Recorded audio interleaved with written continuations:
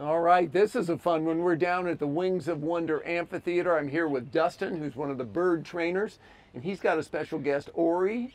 And you know, a lot of times people see the bird show or other behaviors at the zoo and they think, that's amazing, those animals just do that. But you have to get used to them, they have to get used to you, and even an owl needs a lot of training. So tell us a bit about him. Now, Ori is a really special story. I mean, he's a year old now, and it's taken a lot of training to get up to this point. So he came as an egg? Him. He came just All as right. an egg. It was just a little bit larger than a chicken egg. That is great.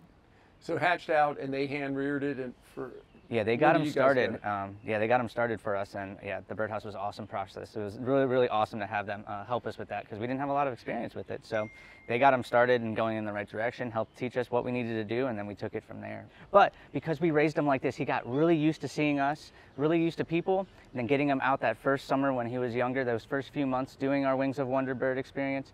He's done a great job with people, but now it's just really teaching him with that operant conditioning, that positive reinforcement training, telling him what he should do rather than what he can't do, right? Yeah. So we get him out here and we're really showing him where to go. And then also, if he gets lost, he gets really excited about a lot of different birds and all sorts of stuff here in the theater. But how to come home from that is the most important part, right? Yeah, so exactly. knowing where we are with those gloves, it's really uh, been a fun training process with him.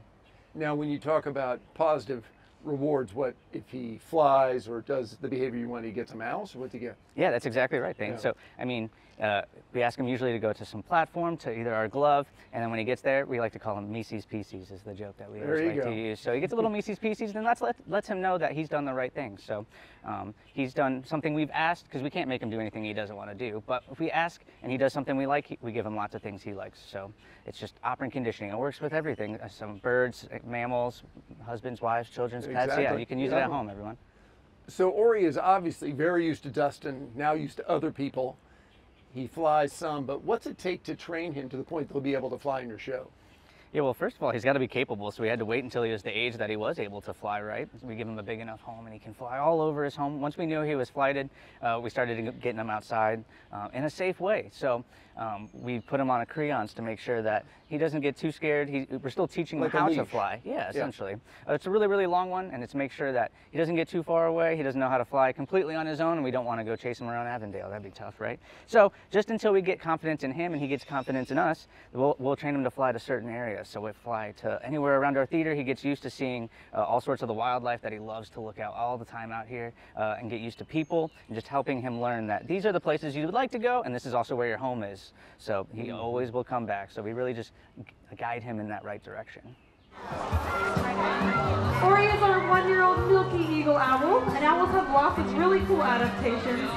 But one of their specialties is silent flight. So you two down here are going to get an up-close look at how silent they are as they soar across the sky and hopefully right between you two. Great job, Ori. Now, he looks different than owls around here, and there are hundreds of owls around the world. Tell us a bit about the species he is. Yeah, so he's a, technically a Verreaux's eagle owl, but they also get nicknamed Milky Eagle Owl, and it's because of those gorgeous pink eyelids that he has. They're the only species of owl that have no feathers on their eyelids, and they think that pinkish color matched with this gray uh, uh, tone that he has. It gives him a little bit of a milkyish color. Yeah. But they're from eastern and southern Africa, the largest uh, owl out there in Africa.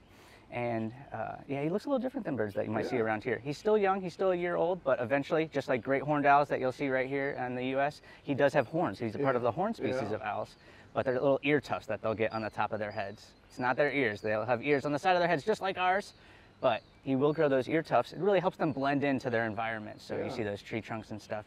And probably show off for a girlfriend, I bet. Oh, maybe, yeah. So You know, um, it's hard for people to tell a male owl from a female owl, but I'm betting he's a male because in East Africa, I've seen rose eagle owls. Man, they're they're as big as that one you got in the back. So yeah, he's very, uh, very tiny. So yeah. uh, we think he's a boy, but we're not 100% sure. Two blood tests gave us inconclusive, so Yeah. he can be whatever he wants to be. only owls know for sure. yeah. Well, Dustin, it's fun. So, give us the details on the show. How many, which days, what times?